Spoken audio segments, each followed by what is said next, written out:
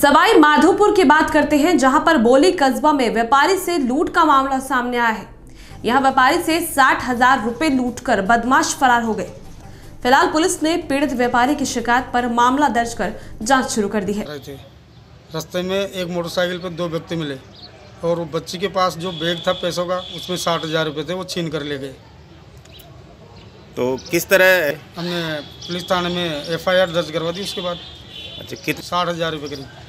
तो वो पूरा बैग छीन कर ले गए? हाँ पूरा बैग छीन कर ले गए। उनको गिरफ़्तार करने की मांग की। पैसे वसूल? अब पैसे वसूल करने की?